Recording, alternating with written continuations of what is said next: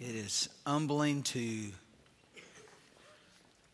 to think and to imagine the price that God the Father, through God the Son, paid to give us the right to be called His children. Thank you for reminding us of that. Well, if you have your copy of God's Word with you, whether it's in print or on a digital copy, it matters not. I'd ask that you would open it to the 48th chapter of Genesis, of the book of Genesis, as we look at in the pursuit of. Because I can imagine today that every one of us in here in this place, if we hadn't at some point in time in our lives, if we're not doing it now, we have at some point in time, we've pursued something. You know, we, we, we start as children learning how to pursue and how to chase, to search. We play hide and seek to pursue and find the one that's lost, or to play, play tag uh, I remember as a kid on uh, hours on hours, we'd make up different way to play tag, whether it was freeze tag or whether it was. Uh, did any of y'all as kids ever play what you'd call TV show tag? You know, we'd be running, and right before you got tagged, if you would slide down and you'd say the name of a TV show, they couldn't tag you. See, I tell you, we just made up all crazy things, but it was in pursuit of. It was in the chase, it was in the midst of that. And so stop and think about it now today. How many of us, as we've grown up as adults and we begin to chase, or, or even we learn as teenagers as we're in school, we want to chase to make the best grades. We want to be the valedictorian. We want to wind up at this school or at this college, or we want this job.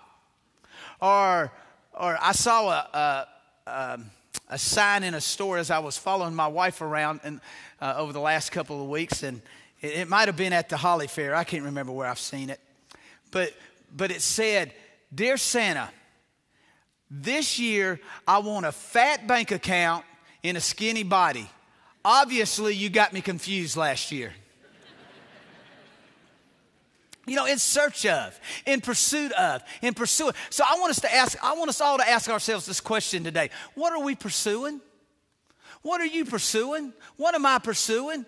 You know, one of the things that concern me the most is I get to the end of my life and I have climbed this ladder and I've pursued all that I've pursued, and I get to the top of the wall and I realized I'm on the wrong wall.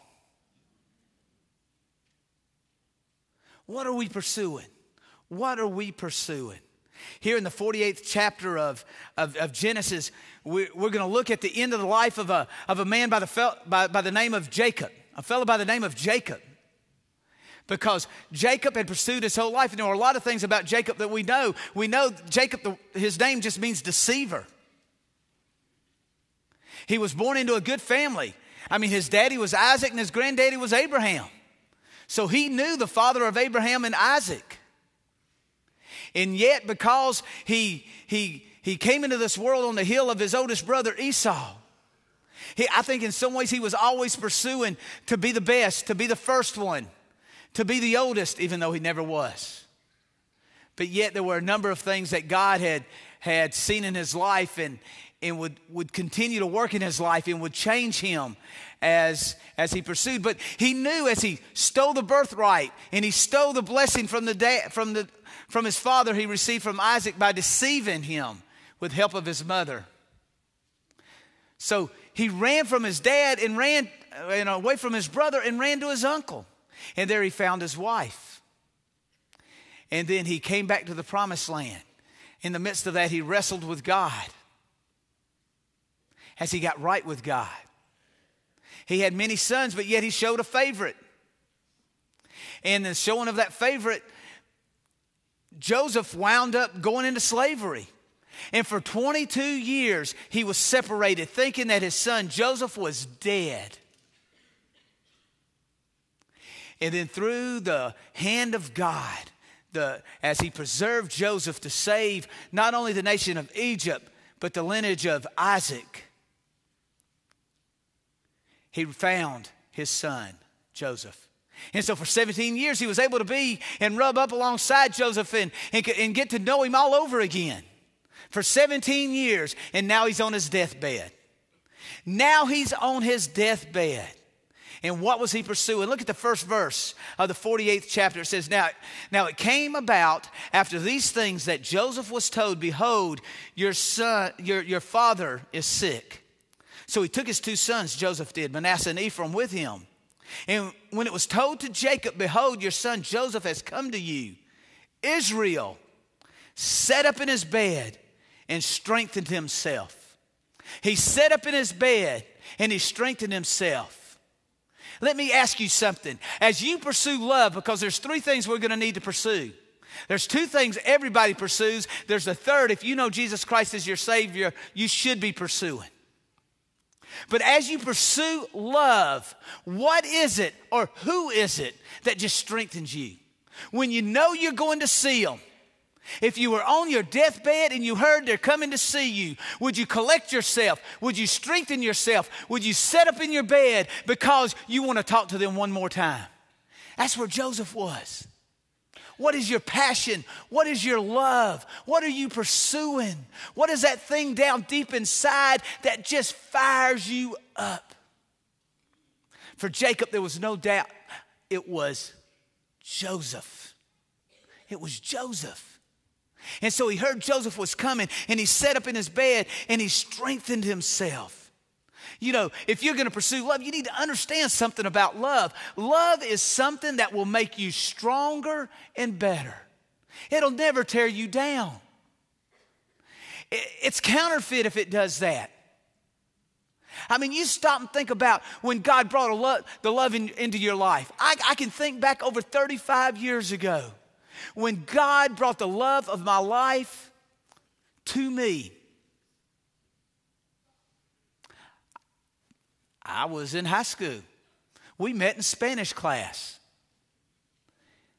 And I know some of y'all are looking at me and saying, well, isn't she Puerto Rican? Didn't she know Spanish? Well, she had the best answer. She would, she would look at him and say, Why are you taking Spanish? She'd look at him there in Pensacola and say, Well, why are you taking English? That's not why she was taking Spanish. She wanted an easy grade but it was a large high school. My locker was across the room from the first period Spanish class. Her locker was four or five halls over. So she said, Hey, you mind if I put my book in your locker so I don't have to carry it? Oh, sure, no problem. So finally, as she would come for sixth period and I'm leaving PE, I never left PE early. To get to my sixth period class, She's waiting to get into the locker to get her book.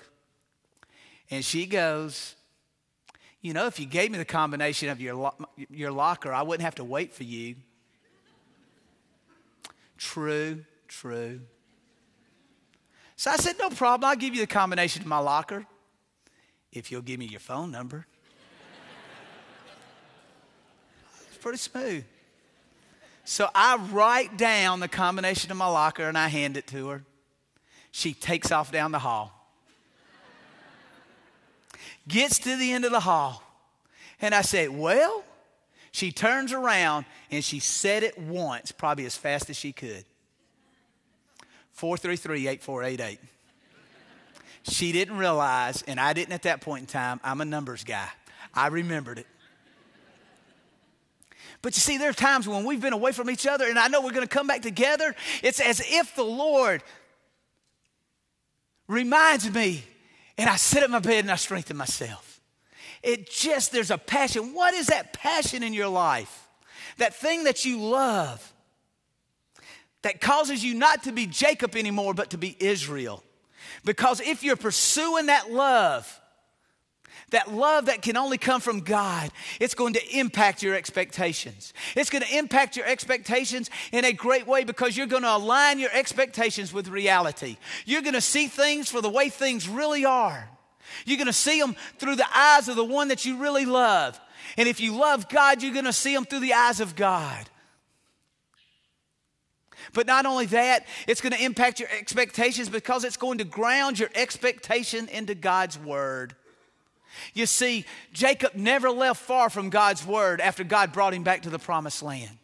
He, he many times went face to face with God. And he would build an, an altar, a monument to remember that time, that encounter with God. Because if you're pursuing love, it's going to impact your expectation. It's not only going to impact your expectation, it's going to impact your expression. It's going to impact your expression, your countenance, the way that you carry yourself, the way that you walk, the way that others see you. You know that it has made a difference in your life because that love, that passion that beats down deep within you. But it not only impacts your, your ex- expression and your expectation, it impacts your eternity. You see, when you pursue true love, God shows up. God shows up. See, that's probably the thing and the most difficult thing that most people face today is they're pursuing love or what they think is love. And the Greeks probably had it right as they had three words for that same word that we call love. I mean, you sit there and say, man, I love pizza. And then I say, I love Myrna. Well, there's not a balance there. There's not, it's not equal there. And so they had the three words the agape love, that unconditional love, that love that can only come, I believe, can only come with a relationship through Jesus Christ.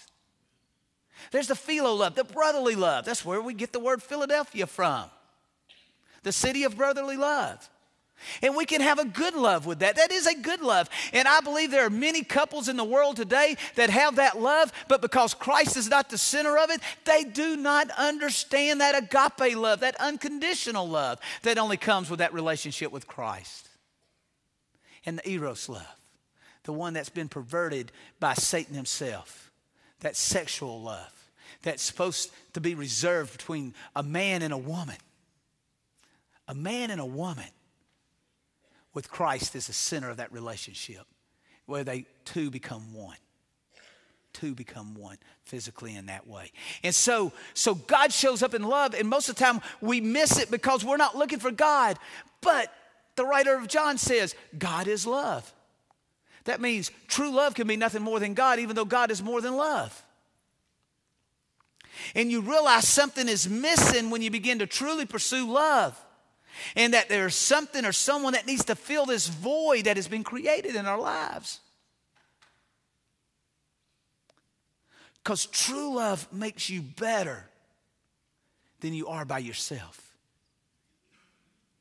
Are you pursuing love today? Have you been looking for love in all the wrong places? What are you pursuing? And if you're pursuing God, I mean, if you're pursuing love, I've got good news for you. You can find it today because God has showed up. And because God has showed up, you can then begin to pursue God and you'll find love. You can pursue God. Look at verses 3 and 4 and following in this 48th chapter. It says, Then Jacob said to Joseph, God Almighty appeared to me at Luz, Luz which is Bethel, in the land of Canaan, and blessed me. And he said to me, Behold, I will make you fruitful and numerous, and I'll make you a, uh, a company of people, and, and will give you land to your descendants after you for an everlasting possession. Now, your two sons who were born to you in the land of Egypt before I came to you in Egypt are mine. Ephraim and Manasseh shall be mine, shall be mine. Are you pursuing God? If you're pursuing God, there's something that's going to happen. It's going to affect your attitude. It's going to affect your attitude. You will focus on the faithfulness of God, not the difficulty of life. Because here was Jacob. These are the last words he's going to, he's going to say to his son Joseph. That's why he sat up in his bed and he strengthened himself. Got to the, got to the edge of the bed. Joseph probably came. His eyesight was, was failing. He says, Joseph, I want you to listen to me. I want to remind you some things. I know that, that we weren't around for 22 years of your life, that my sons removed you out of my presence. Your half brothers. But through the hand of God, we're back. He didn't say that. He didn't say, he didn't tell Joseph, Joseph, I want you to understand how difficult it was, how I pined for you for these 22 years before God brought us back together. He didn't talk about how difficult it was that Jacob's, I mean, that Joseph's mom passed away at the birth of Benjamin. Or how difficult it was to send his sons off to go find food in Egypt. Or how difficult the famine was. He didn't talk about all the difficulties that the, his life had brought him. Because when you're pursuing God, those become memories. And what rises to the surface, what came from within and crossed the lips of, of Jacob as he spoke to Joseph was let me tell you about the faithfulness of God. Let me tell you, probably the last time that I really went face to face with God and what God promised me, and because of what He promised me, you're going to be able to be a partaker of it. Let me talk to you about the faithfulness of God, not the difficulty of life. That's an attitude change. Because somewhere along the line, you've got to quit living in your circumstance and live in that vision that God has given you through His Word because neither death nor life nor principalities nor things unseen or things to come can separate us from that love of God. And because of that, eyes have not seen or ears have heard the place that God has prepared for us. And yet, think back in your own life. Things that have come your way that you had to face. You said, Man, I can't face this. And then God showed up. Because, friends, I want to tell you, when you allow God to show up and you recognize Him, then God can show out. And this attitude becomes actions. And as these actions come, we see that Jacob is going to bless Joseph and both his sons, Ephraim and Manasseh. See, a blessing is a verbal expression that contains a spiritual aspect. Man, when we think of blessings, we think of God as almost some type of cosmic Santa Claus that's going to give me everything that I want or wish. Because if I love God enough and I'm good enough, then shouldn't I get everything I want?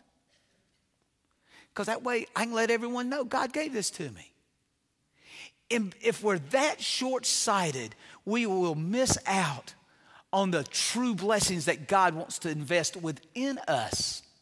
And it's that spiritual aspect of blessing. It's that the biggest blessing that He gives us is He places the hand, His hand upon our lives.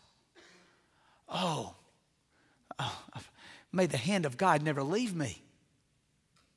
Because that hand of God is that constant daily blessing of His presence that's on me.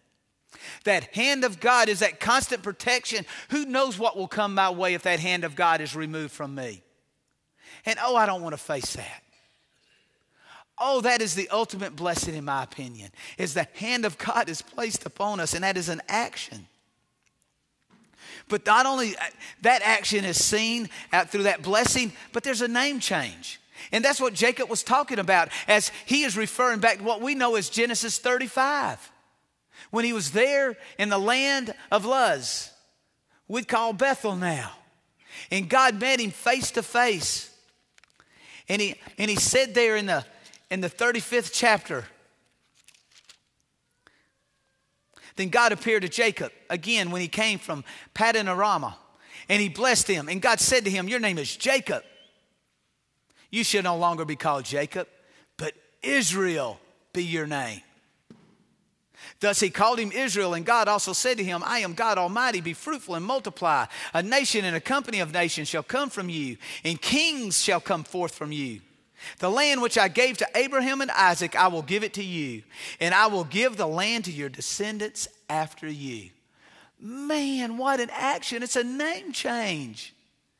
Now, I think because of the dream that's recorded in the 32nd chapter of Genesis, maybe Jacob forgot there was a name change when he wrestled with God and he wouldn't turn loose until God blessed him and he changed his name then. Maybe he just thought that was some, some dream, some vision. Maybe he didn't think God really had showed up. How many of you are experiencing something in your spiritual life, man, and God has showed you something and you go, man, this is sweet, this is good.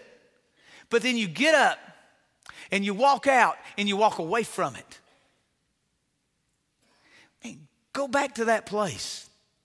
Let God remind you that His word never comes back void, that His promises are always kept, and His faithfulness is fresh and new every morning.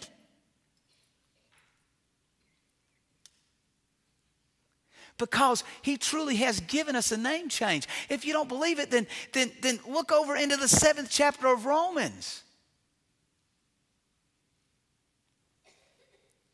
Where Paul talks about we're new creatures, we're new creations. The old self has passed away. Man, we have a new self. But the thing about that is, just because we have a new self doesn't mean the old self's gonna die easy. We've got to get up and die to ourselves daily and pick up our cross and to follow Him. And we're gonna struggle with that.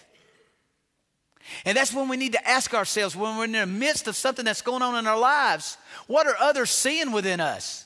Are they seeing our Jacob, who's a deceiver? Or are they seeing our Israel, one who walks with God? Man, I about came out of my shoes when God showed me this. And I'll get into some situations now and I'll begin to act one way, and it's like God taps me on the shoulder from within and said, Hey, Bill, your Jacob is showing. Where's Israel? I changed you. I gave you a new nature. I gave you a new name. You're Christian. Are others seeing it? Come on, Bill, you're better than that. Sit up in your bed and strengthen yourself. Pursue me. Because when you pursue God, there's an attitude change, an action change, which will include a blessing and a name change, but it will also include a legacy. When you pursue God, God wants to give you a legacy that not only impacts you and influences you, but will influence those who come behind you. If you're fortunate, the next generation, the generation after that, and I know some, even the generation after that. That's what was happening here. Joseph brought Ephraim and Manasseh with him. Says, Man, I'm going to see your granddaddy. You don't know him the way I knew him, and I, and I know he hates that but I want you to come see him. And Jacob realized Joseph was there as well as Ephraim and Manasseh. And so Jacob gives the blessing of the oldest son to Joseph. And then he adopts Ephraim and Manasseh as if, he, if they were the, his own and blesses them as well. You see, when you pursue God, God not only wants to make a difference in your life, He wants to make a difference in those who are following you, those who are coming behind you. Will they find us faithful? You know, the older I get, the more I begin to realize it's all about the next generation. And I say, God, just give me more opportunities. I just want to invest in the next generation. Now, that doesn't mean I leave the here and now, but I do understand there's a legacy coming. And Christianity is only one generation away from extinction. If we don't tell those that God has entrusted us with, then who's going to tell them? It's not the church's responsibility as we think of the church. But we are the body of Christ, thus, we're the church. We're to tell the next generation, we're to invest in the next generation, we're to influence and impact, especially those God gives us the privilege and the joy to pull alongside of us. It's a legacy. And we've got to understand if we pursue God, shouldn't we want to pursue His heart? I mean, what is at the heart of God? I think maybe best summed up in the 19th chapter of Luke when Jesus was talking to his followers. And they basically asked him, Well, Jesus, why'd you come? He says, I have come to seek and to save that which is lost. If we pursue love, we're going to find God. And when we find God, then we've got to go to his heart. And if we go to his heart, we've got to be about what he was about. We need to pursue the lost. We need to pursue the lost. Those who do not know Jesus Christ as their Savior, we need to impact and influence them. And can we do such if we don't grasp the condition of lostness?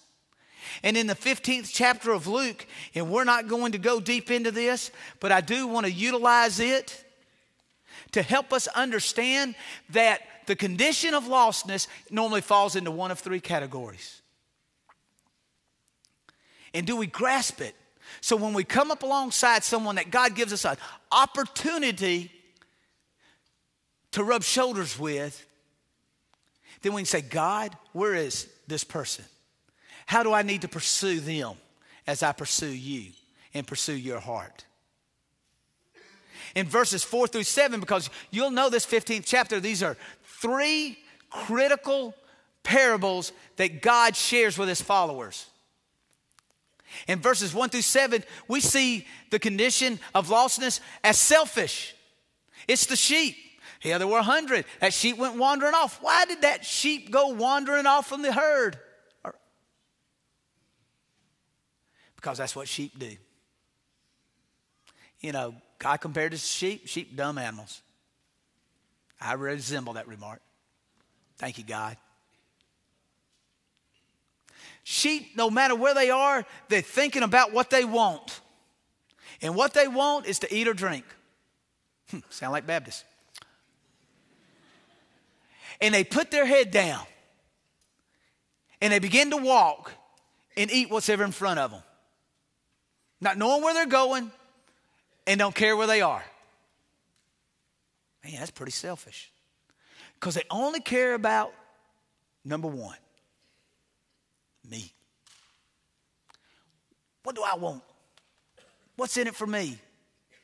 I want to get all I can, can all I get, sit on the lid, poison the rest, because it's all about me.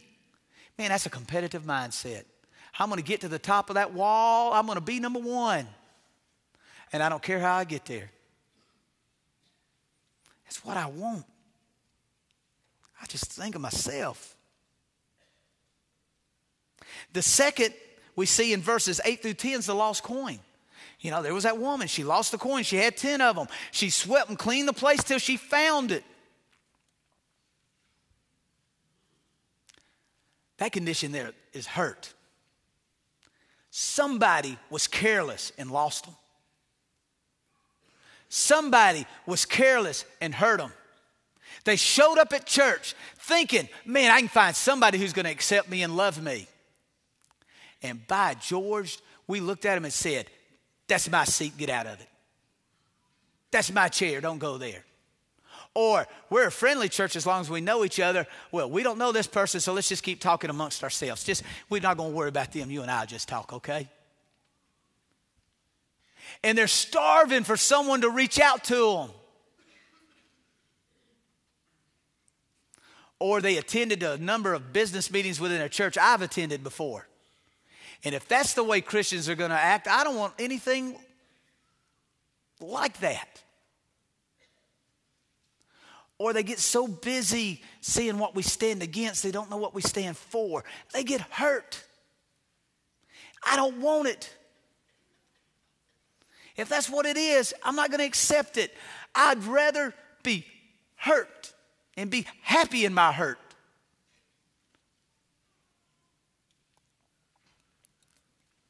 And the last is found in verses 11 through 32. And that condition is the rebellious. I mean, we know the story of the prodigal son. Off he went for riotous living. It was a personal choice. He chose to turn the back on his father. But in verse 17, it says, And he came to his senses. And he came back. But when he came back and got through a party, there was the other son who bowed up and said, Man, God, you never do that for me. You know, you can rebel and leave or you can rebel and stay. When you rebel and stay, you're liable to create others that will be hurt. That's the condition of lostness. Stop and think about that for a minute. They're out there starving for the one thing that they cannot find apart from God. They're pursuing love. And we have it. We have it. We've pursued love and we found God. We've pursued God and we found his heart. We found his heart and he told us to pursue the lost. Oh, not me, God, I don't have the gift of evangelism. Well, let me ask you this Do you know Jesus Christ as your Savior? Has there been a time in your life that you said, Jesus, come into my life, forgive me of my sins, and be my Savior? Fill me full of your love. And God changed you. Well, friends, let me tell you something. If you've done that, you have everything you need to pull up along someone who is hurting, someone who is selfish, someone who is rebelling, and love on them. I didn't tell you you had to, to go find yourself a huge family Bible and run up and down the street and start yelling at everybody to repent and turn and get right with God. I'm telling you, if they need it and they're thirsty, you bring them a cold cup of water. If they're hungry, you bring them something to eat. If they're hurting, you put an arm around them and you love on them.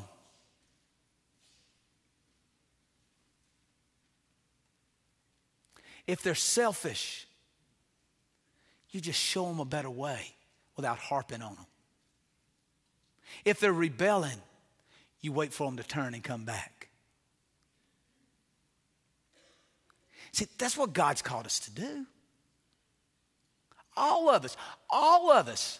Now, there are some, man, they have the gift of evangelism. Jock Cullen, who's in San Antonio, quit doing everything he did because I think God's given him the gift of evangelism to come alongside one on one to children and their families. And he's working in a housing project in San Antonio. Now, God didn't call me to do that. God didn't call you to do that or you to do that. But God did call you to pursue the lost. God did call me to pursue the lost, to use the gifts and the talents and the ability and the time that God has given me to pull alongside those that are hurting, those that are selfish, those that are rebellious, and remind them God is here, God is calling. Don't know what you're looking for, but I know you're pursuing love. We have the answer. We have the answer. You know, I was reminded the importance of pursuing the heart of God. From a songwriter by the name of David Crowder who penned these words, he said, Come out of sadness from wherever you've been. Come brokenhearted, let rescue begin. Come find your mercy, O sinner, come kneel, because earth has no sorrow that heaven can't heal. There's hope for the hopeless and all those who strayed. Come sit at the table, come taste the grace. There's rest for the weary, weary, rest that endures. Earth has no sorrow that heaven can't cure. So lay down your burdens, lay down your shame. All who are broken, lift up your face. Oh, wanderer, come home. You're not too far. So lay down your hurt, lay down your heart. Come as you are. What are you pursuing today? Are you pursuing love? Are you pursuing God? Are you pursuing the heart of God? God says, Good. You can find it today. But come as you are. Stand and let us pray.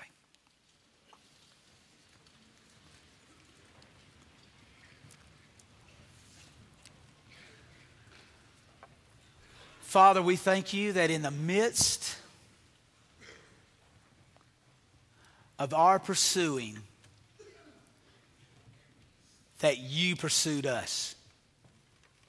You tell us in your word that while we were yet sinners, you demonstrated your love for us and gave your son. You pursued us. You tell us in your word, for God so loved the world that he gave his only begotten son that whosoever shall believe in him should not perish but have everlasting life.